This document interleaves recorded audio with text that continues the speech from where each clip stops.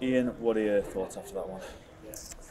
Um, we came in today with a with a plan where we had to try and con contain the opposition because we watched the games they played this season and, and even last season they kept a lot of players together added as well but with their style of play that we, we knew that if we'd release out and go and chase them that we'd leave gaps and they exploit the gaps so we had to make sure our shape got right and I thought first half we were okay they got in they got in through a little ricochet and it's a great finish from Goldzich but um, we, we just didn't manage the ball well enough. When we won the ball back, we, we were just a little bit sloppy today in possession. Um, and then in the end, like I say, it was it was a fair result.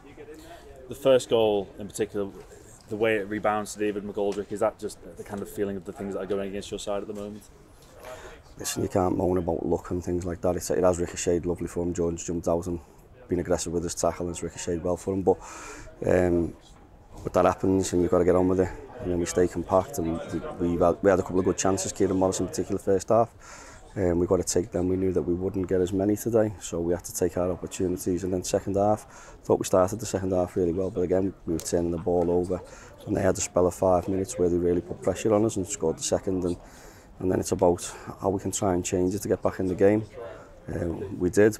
Again, when we changed it, we left gaps open and they got through us at times, but we, we had a little bit more going forward. But in the end, um, we get a goal back and could have managed the game in the last couple of minutes a bit better, but I had a couple of half chances. But like I say, there's no um, there's no grumblings about the result.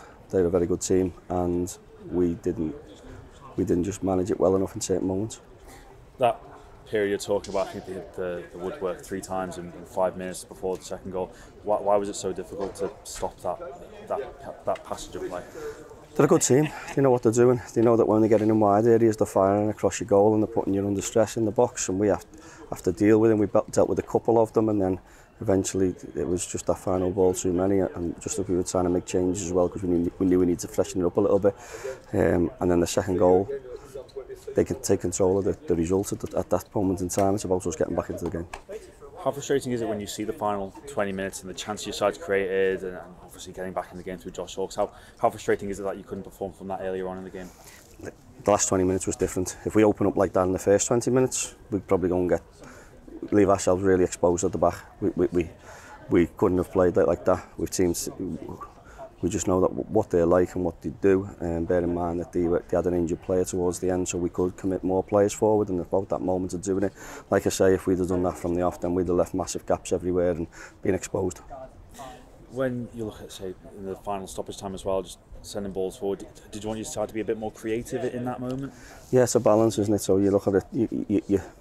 you're trying to work into areas to get the ball forward. The lads know that there's the time's running down but they need to be just a little bit more composed at times and get it into the wider areas and, and, and put better quality balls in. In the end, we did put one or two in and we nearly got the equaliser at the end, but like I say, we can't grumble about the result. The result was fair. I've got to ask injury-wise, how close was Luke Norris to making today? Um, again, he's getting assessed and scanned at the moment, so we don't really know the um, the extent of that one.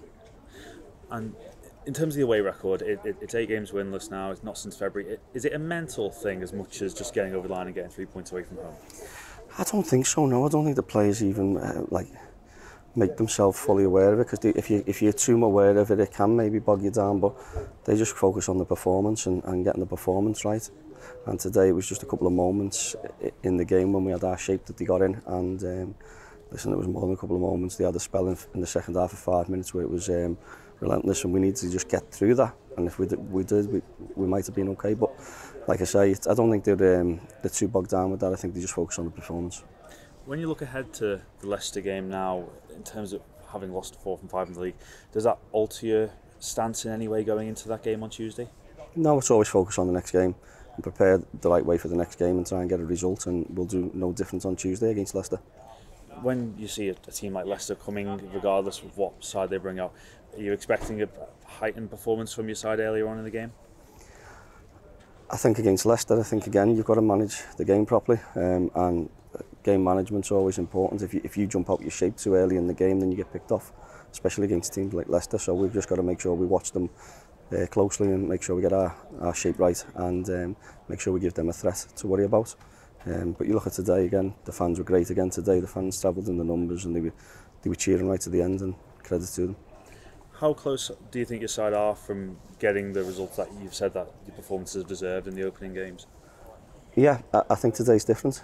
Um, I think in the other games, I look at the, the, the performance overall and thought we could have could have got more from the game. I think today's a little bit different. I think the result we can't, like I say, we can't can't question it really. I thought they deserved to win the game. Um, it wasn't through lack of effort from the players and lack of trying. It was just they just had a little bit more than us on the day, and we've got to make sure that we move forward to Tuesday and plan and prepare.